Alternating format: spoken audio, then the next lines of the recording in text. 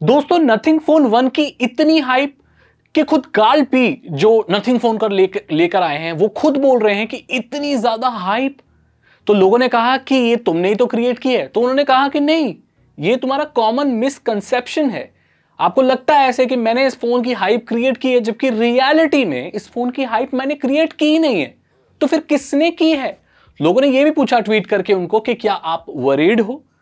तो बोले, नहीं, मैं वरीड नहीं हूँ, मैं सरप्राइज़ हूँ कि मैंने कुछ भी एक्स्ट्रा ऑर्डिनरी किया ही नहीं है, लेकिन ये फिर भी फ़ोन इतना हाइप्ड क्यों है? और आज मैं बात करने वाला हूँ कैसे रेडमी क्लेम कर रहा है कि उसका जो एक फ़ोन है, जो छब्बीस से सत्ताईस हज़ार कितने का आ रहा है, बहुत वक्त के बाद के सीरीज़ का नया स्मार्टफ़ोन आ रहा है विच इज़ के फिफ्टी आई तो उसने पीछे छोड़ दिया है एप्पल के जो बायोनिक चिप है ना ए फिफ्टीन बायोनिक चिप उसमें एंटी टू बेंच में पीछे छोड़ दिया। तो इसका क्या मतलब है कि भाई अगर कोई बजट फ़ोन या थोड़ा कम पैसे वाला फ़ोन रेडमी निकाल रहा है, वो अभी लेटेस्ट जो चल रहा है एप्पल के, उसको पीछे उड़ देगा। ये क्या चल क्या रहा है? क्या इन एंटी टू बेंच पर ट्रस्ट किया जा सकता है? सबसे पहले बात करते हैं और पता है? ये जो के फिफ्टी आई का जो रिज़ल्ट बताया ना, वो नथिंग फ़ोन के प्रोसेसर को Snapdragon seven seven eight G plus को बहुत पीछे छोड़ देता है। तो ये रेडमी सबसे आगे कैसे निकल रहा है? ये बात चल क्या रहा है? ये बात करते हैं। हाइप की जहाँ तक बात करें तो भाई ये इसीलिए हो रहा है। और मैं दावे से कहता हूँ कि काल पी अगर बोल रहा है कि भाई उसने नहीं क्रिएट की हाइप तो सही बोल रहा है आदमी। मैं बता रहा हूँ क्यों। ये हाइप इसलिए क्रिएट हुई है क्योंकि स्मार्टफोन्स में इनोवेशन है ही नहीं दोस्तों, खत्म है। कुछ नया आ ही नहीं रहा है। कुछ ऐसा एक्स्ट्रा ऑर्डिनरी आ ही नहीं रहा है। कि जिसके बारे में बात हो। मैं एक टेक यूट्यूबर हूँ और कितनी भी स्मार्टफ़ोन का रिव्यू करने वाले लोग या जो भी स्मार्टफ़ोन के बारे में बात करते हैं, आपके फेवरेट होंगे, सब यूट्यूब उनसे पूछिए। वो आपको बताएँगे कि इनोवेशन के नाम पर स्मार्टफ़ोन इंडस्ट्री में कुछ है ही नहीं। ये पीछे की कहानी मैं आपको बता रहा हूँ। खुद परेशान है यूट्यूबर टेक ब्लॉगर्स इस चीज़ को देखते हुए कि भाई, हमारे पास कुछ नया बात करने के लिए स्मार्टफ़ोन में है ही नहीं। और जब कोई ऐसी थोड़ी बहुत भी नई चीज़ हो जाती है तो सब टूट पड़ते हैं बिकॉज़ उनके लिए एक नया कॉन्टेंट है। सो so, यही चीज़ यहाँ पर हुई है। नथिंग फ़ोन ने जो ये डिफरेंट चीज़ की है ये और कोई स्मार्टफ़ोन कंपनी कर ही नहीं रही थी। ज़्यादातर स्मार्टफ़ोन कंपनियाँ कंपनियाँ सेम पैटर्न को फॉलो कर रही थी। अगर किसी एक कंपनी ने जैसे मैं इसका उदाहरण आपको दूँगा और मैंने इसीलिए रेडमी की एग्ज़ाम्पल की बात की स्टार्टिंग में जैसे किसी एक कंपनी ने कोई रिफ्रेश रेट निकाला। हायर रिफ्रेश रेट तो सारी कंपनियाँ उसी चीज़ पर लग जाती हैं। वो सारी कंपनियाँ रिफ्रेश रेट बढ़ाने लगती हैं।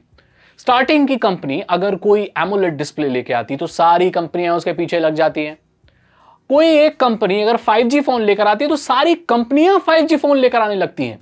और उनकी भी इसमें कोई गलती नहीं है। वो इसलिए करती हैं ताकि दूसरा ब्रांड उनसे आगे ना निकल जाए। क्योंकि अगर मार्केट में सिर्फ़ एक ही कंपनी होगी जो 5G फ़ोन देती है तो फिर बाकी सारे की मार्केट पिट जाएगी।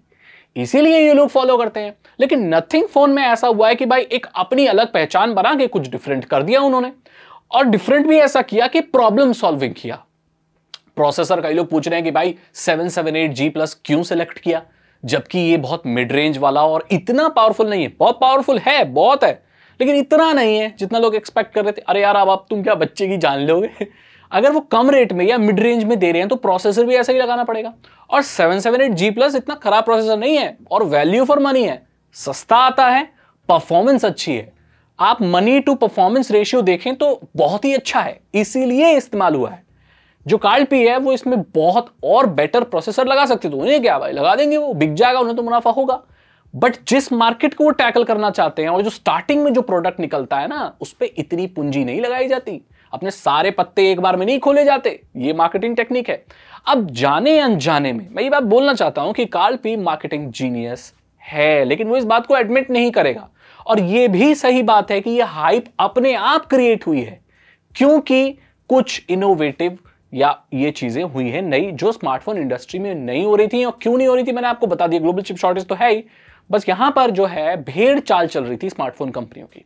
फोल्डिंग फोल्डिंग स्क्रीन को निकाल दो बाकी और कुछ है नहीं भाई, सारे स्मार्टफ़ोन मैं बताऊँ आपको, आजकल आप महँगे से महँगा फ़ोन हाथ में ले लो, उस पर कवर चढ़ा लो।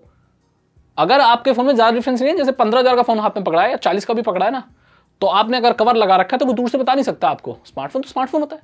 कोई बता थोड़ी सकता है? कवर में क्या पता चल रहा है कौन सा स्मार्टफ़ोन है? आजकल सस्ते से सस्ते फ़ोन में चार कैमरा हैं। आप बारह हज़ार का फ़ोन ले रहे हो, चार कैमरे आ रहे हैं उसमें।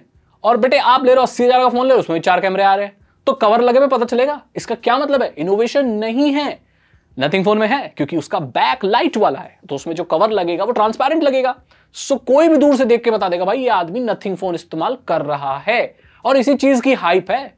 ये कोई नहीं बताएगा आपको? तो ये बात चल रही है भाई, और सही में ये हाइप क्रिएट हुई है, और क्यों क्रिएट हुई है, ये मैंने आपको बता दिया। अब बात करते हैं जो हमने स्टार्टिंग में बात की थी। भाई, ये जो बेंचमार्क पीछे छोड़ने वाली बात है ना, ये बहुत पहले से चल रही है। और जैसे मैंने आपको बताया था, कोई एक चीज़ होती है तो उसको पीछे पड़ जाते हैं। अब यहाँ पर इन लोगों ने एन टू टू बेंच ले लिया। दे यार, तुम सीपीयू के उसमें आगे बढ़ जाओगे। Screen quality customer support brand value goodwill और इन सब चीज़ों का क्या करोगे वो कहाँ से लाओगे? सो so, एक छब्बीस हज़ार का फ़ोन सत्ताईस हज़ार का फ़ोन डेढ़ लाख के फ़ोन के साथ आप कैसे कंपेयर करोगे? दस तरह की चीज़ें होती हैं। प्रोसेसर ही मैटर नहीं करता। उसका यूआई भी मैटर करता है। स्क्रीन क्वालिटी उसकी टच स्क्रीन मैटर करती है। फ़ोन की बॉडी मैटर करती है। कैमरा मैटर करता है। और दस तरह की और चीज़ें मैटर करती हैं।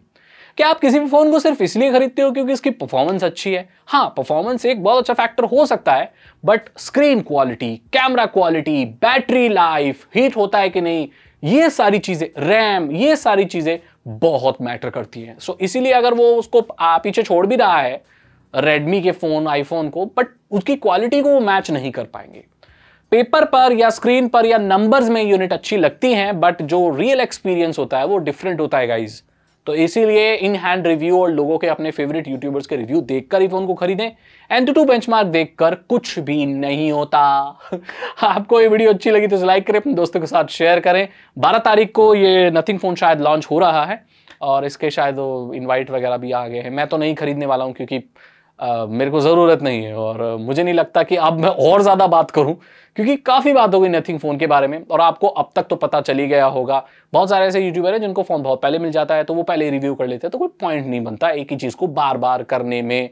और मैं ऐसी चीज़ ज़्यादा करता भी नहीं हूँ, मैं थोड़ा यूनिक साइड में ही रहता हूँ। नाम टेक्निकल लगा हुआ है बट मैं डब्बे वगैरह सब नहीं खोलता ज़्यादा। कभी कभी थोड़े बहुत खोलूँगा जब बहुत ज़रूरी होगी, वैसे मैं डब्बे नहीं खोलता। अगर आपको वीडियो अच्छी लगी तो इसे लाइक करें, अपने दोस्तों के साथ शेयर करें। साइबर सिक्योरिटी और इथिकल हैकिंग में इंटरेस्ट है तो डिस्क्रिप्शन चेक करें। टू नाइनटी के तीन इथिकल हैकिंग कोर्सेज है। आसान भाषा में आपको इथिकल हैकिंग सिखा देंगे। मैं मिलता हूँ आपसे अगली वीडियो में। Thank you so much and goodbye